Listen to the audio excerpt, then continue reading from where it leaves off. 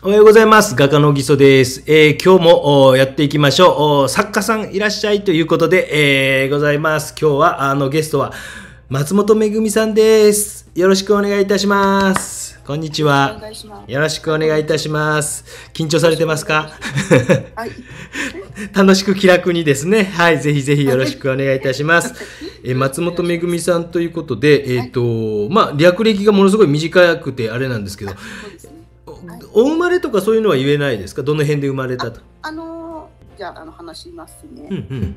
どうぞどうぞ。私はですね、あのー東京都の東久留米っていうところで生まれて、はいはい現在ちょっと所沢に住んでます。はいはいはそれで、うんあのーまあ最終学歴は、うん大妻女子大学短期大い。学に家政科のね児童文化コースっていうところをうん卒業しました。うんで、あのー美術系の学校はね、実は一切行ってないんですね、これが。うんうんそれで、あのー講談社フェアマツスクールっていうところにちょっと一時期漫画でうん。漫画コースやってみたり、うん。まあ、ちょっと絵を見せたところグループ展につながったので、うん。まあ、グループ展をやったりとしうん。て、まあ、そこでまたちょっと埼玉の人からあのさ声かけてくれて、うん。まあ、ちょっと二課展の方に出してみたっていうう感じなんです。はい。ああ。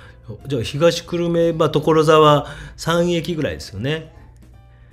そうです。ねそうですね。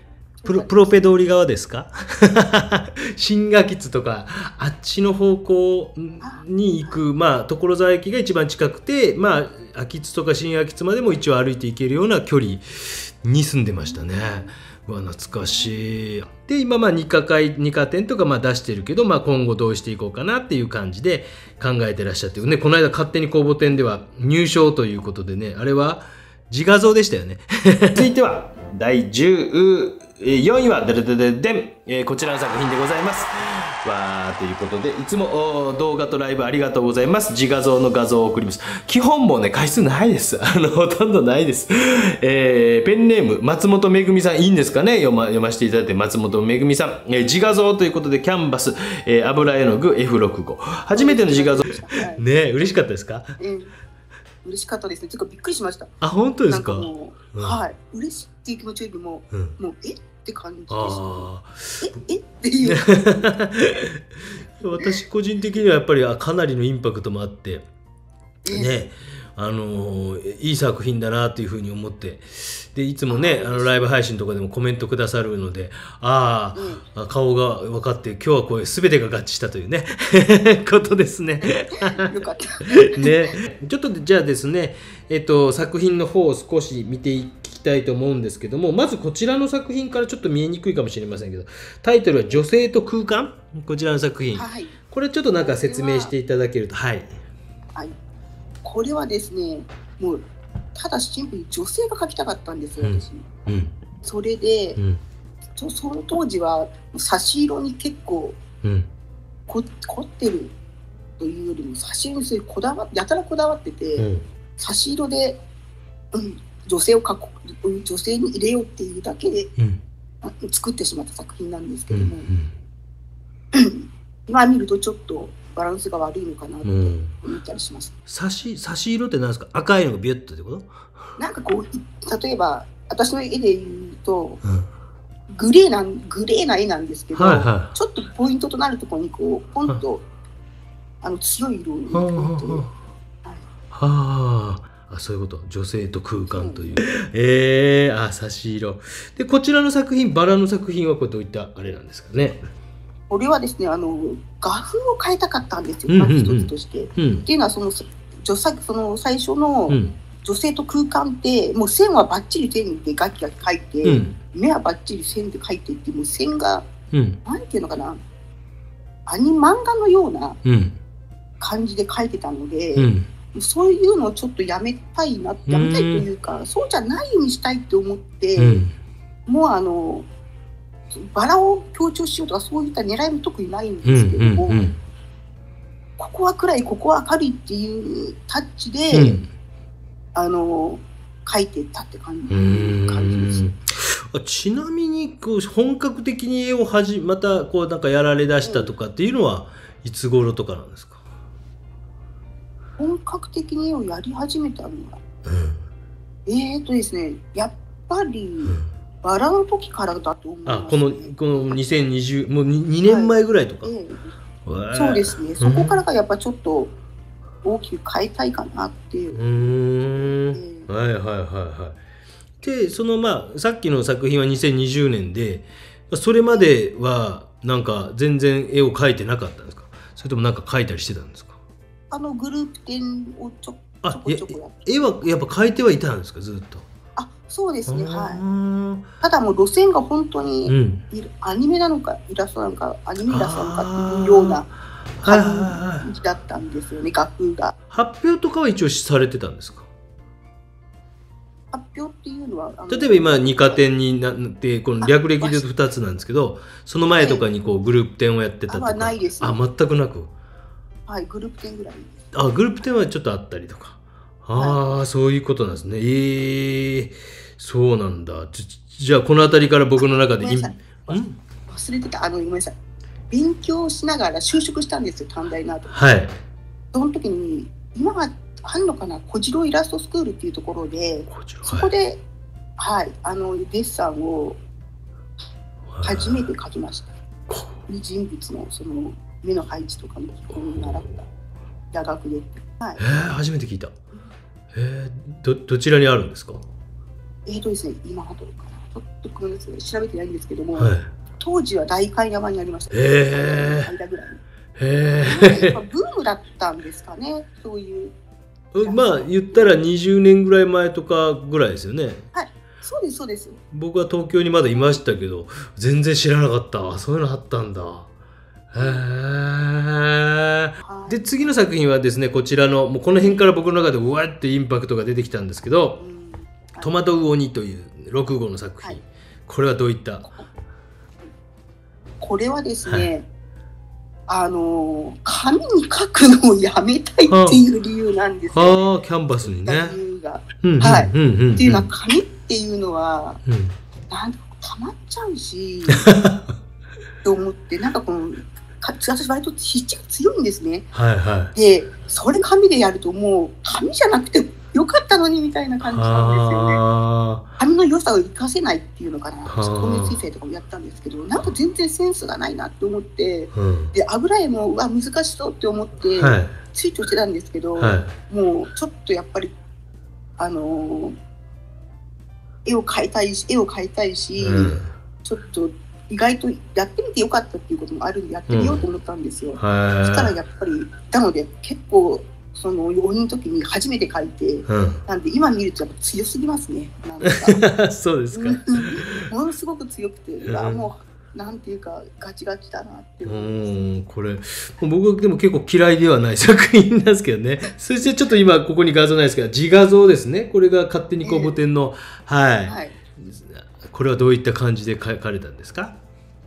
これはですねやっぱ自分モデルなので、はい。その点は楽だったんですね。うん。うん。あの人にこのポーズをさせたりとかしなくていいので、うん。うん。うん。その点楽だったんですけども、意外とこの細かいところうん。が難しかったです。うん。本当に洋服のジップとかも、うん。ああ描きたくないなって思ったんですけど、まあやっぱりもうここまでどっちかというと絵画調に えできちゃったんでえ、はい。まあ、書かなきゃいけないと思って書いたりとか、はい。やっぱりなんていうのかな硬いものを書きましたね特にやっぱ人間の顔って私結構多かったんですけど、うん。手を入れてなんかこう絵作りっていうのを考えたらあんまりできてなかったなと思ったんで、うん。え結構があの頑張って書いたかな。はい。はいで、最後の作品がこれですね。ハート、ハートをしているね、作品。え制作年が令和6年のタイトル「ラブ F05」っていうことで、えー油絵キャンバスということなんです。これはどういったあれなんですか、これはですね、うん。あの実は自画像の時は、うん。緑色の絵が描きたいなと思って、うんうん実はこのに最初にインプリモンテーラですね、うん。この最初に緑実はかけてるんですけど、うん、今度は黄色い絵が描きたくなったので、ほええまた同じく黄色で一応て、ううん。それで描いたんですよね。はいはで小さいサイズっていうのもちょっとやったことがないし小さいサイズのがむしろ難しいと思うんですよ、いうんうん。のが。うん。うんなんでもうそそれで描いたんですけども、うんうん。もうもっとなんて言うんだろう。私のやっぱ作品うん。作りとして、うん。なんかこうおしおしゃれというか、うん。ファッシファッションというか、うんやっぱそういう感じにしたいなと思って、ううんんあの書きました。うえ、なんかいろいろな思いがこう、ね、普通に絵だけ見てると伝わってこないというか、ね、そこまで読み取ることが難しい部分も、こうやってひあの作者さんの話を聞くと面白いですね。そうですか。面白い面白い。本当になんかこれからなんか自分の画風とか、まああんまりこはう定める必要はないと思うんですけど、そういうのが見えてくるとね面白くなりそうな感じのする方だなと個性のあるね 感じのは作品だなという感じがします。あの SNS とかやられてます？あやってないあやってないですか？あね。ー結構皆さんこうここで SNS とかのねあの宣伝とかをされてるんですけどじゃあ特にやってないという感じではい。はい。でなんかこう今後こうこれに出す予定とかっていうとかそういうのは特にそうですね。今のとこはちょっとまだ考えてないんですけど。も、工房をやっぱ出した方がいいのか、うん。それともなんか古典とかを目指した方がいいのかちょっとわかんない。まあその辺はじゃああの最後にこうえーこれからのことでもまあ質問でもなんか私に対して質問でも何でも結構ですしで最後の最後にこう自分のこう自己 PR みたいなのをしてもらえたらなというふうに思いますけど何かこう質問とかありますか？まあ、工房に行った方がいいのか、うん。まあ、古典とかにした方がいいのかなっていうのがちょっと悩みで、うん。まあ、古典だとやっぱりそのファイルとかも多分作らなきゃいけないと思うんですよ。うん。そういうのはちょっと難しそうかなってう感じてるんですけども。んいやまあなんか将来どうなりたいかが 結構大事で。私はねやっぱり人物を描きたいなとは思ってるんですよ、うんうんうんそれもやっぱりそのヌードとかってあるじゃないですか、うん。そういう路線じゃなくて、うん。やっぱりなんて言うんだろう。ちょっとこの不思議な感じがするというか、うん。おしゃれな感じがする。フおおしゃれな感じの不思議な感じか。ションとかおしゃれな要素をちょっと入れてみたいかなって。いうまああのどういう画風を描いていきたいかっていうのももちろんあるんですけど将来とかあの例えば絵で食べていきたいとかこうこうしていきたいとか、はい。なんかそういうこうビジョンみたいな方のこうどうなっていきたいかとかっていうのはあるんですか？やっぱり絵で食べていければいいなとは思います、うーん。うん。あでそれでこう食べていくっていうそのイメージが、うん例えばイラストレーターってあるじゃないですか、はい。頼まれたものを描く。多分私これ無理だと思ってちょっと思ってるんですよ、うんうん作風とか自分のペース。はい。考えると、うん。あとやっぱ柔軟性かな、ん。じゃあそう考えるともう作家なのかなって私は思うってで売れるとそれは一番いいでしょう。いいですけども、っていう感じうそう思ってます。食べていくっていうのは多分ね、うん。以外にもきっとなんて言うんだろうな塾の講師をするだとか、うんなんかやんなきゃダメなのかなって思っちゃってるんですよ。え絵の塾の先生とかってことですか？そうです、ね。ひたすらこう作品書いてはい補填しました。バーンと売れました。補填しました。売れましたっていうのっていうのはいうのがまあ一番いいんでしょうけど、はなかなかいまあそうですねあまあだから、まあ、団体店のメリットデメリットっていうのも多分あの公募店っておっしゃってるのは多分団体店のお話をずっとされてるのかなと思って聞いてて、そうですね。で団体店のメリットデメリットっていうのはもう、まあ、例えばそういうこう人脈ができたり例えばオープニングパーティーとかで画廊の人が来てくれたりとかして気に入ったらなんかうちでなんかやんないとかですね団体自体のこうグループ店みたいなのがあってなんとか店のなんとか商品店みたいなのがあったりとかしてそういうのを百貨店でやれたりとかしていろんな人の目につきやすいっていうところは多分メリットとしてはあると思います。で、まあ、デメリットとしてはその毎年ある程度でかい絵を描くと。はい。わかります。うん、だからそこが書ける書き続けれるというこう基礎的な体力とあのねえーいろんな経済的な部分とかがあるかどうかっていうところも、まあ、もしかして逆にそれが一つのこうなんていうかノルマになって毎年書こうというモチベーションになる人もいると思うんですよ。でそれがメリットと感じる人もいればこうデメリットというふうに感じる人もいたりとかするしでじゃあかかといってじゃあ作家としてやっていきたいとなってきた時にやっぱ表に出さないといけないわけですよね。はい、そうなんですよね。でそれが今は現僕らの若い頃とは違ってその SNS という方法があると。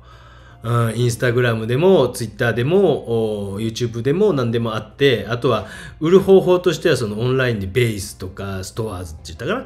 とかもあるし、えー、とあとはヤフーオークションでもメルカリで絵を売ってるっていう人も今回いるし結局はその自分がどうなっていきたいかっていうことの明確なあれビジョンとやっぱりこう方法をどういうふうにアウトプットしていくかっていうことがやっぱないとやっぱりこう現代においてはただ本当にひた隠れた作家になってしまうんで なんかねもしかして僕がこの間の自画像を見た時にあ面白いもん持ってるだろうけど多分その辺がなかなかこう難しい人なのかなっていうふうに見たんで。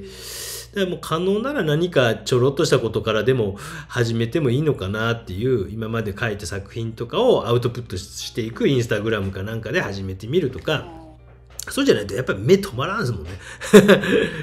うん、今今はやっぱ公募展ってそんな出さないいやまあ団体店は別にまあ別に否定してるわけでもないんですけどそれよりも松本さん自身がもうちょっとこうアウトプットするこう方法とかが今無料であるわけですからね。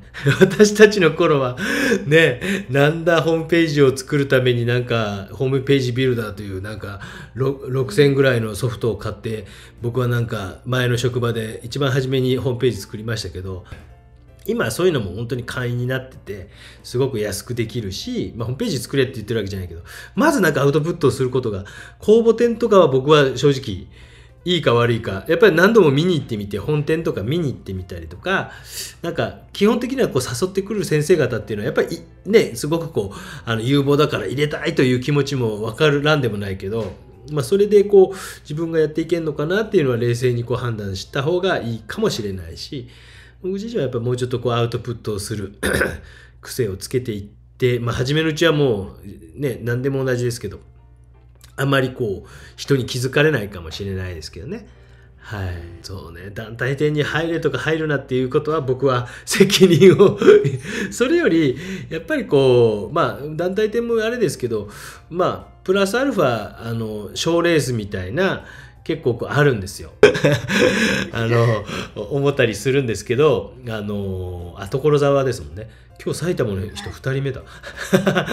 今日熊本に埼玉2ですよ。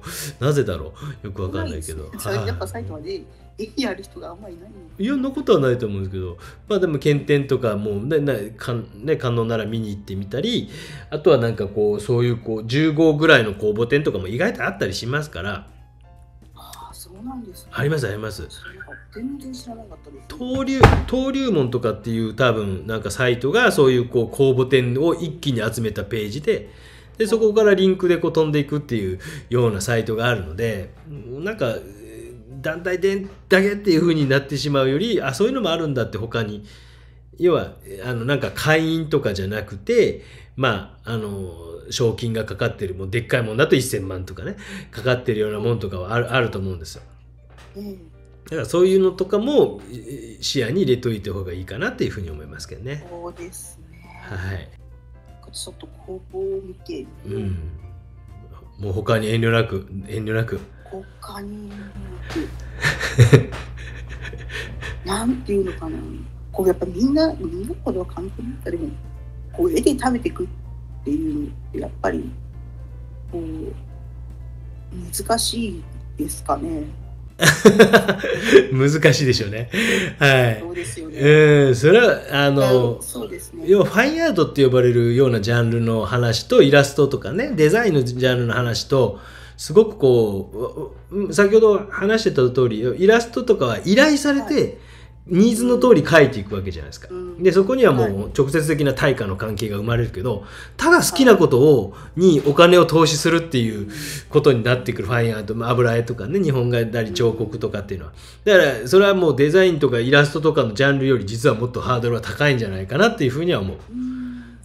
でもまあだから食べていけるっていうのがどのぐらいの範囲かっていうことですよね。あの年収200万までいけばいいかなとか、うんね、500万までいけばいいかなとかいや2000万ぐらい欲しいとかっていろいろその価値観はあると思うんで、まあ、自分自身がどのぐらいでこう生きたいかなっていうふうにまずこう最低限のビジョン立てはしないとなんか昔はきっとね工房さえ出しとけばっていう時代だったのかもいやしれない。昔もその公募店団体店出してたからどうこうっていうことはなかったですよ。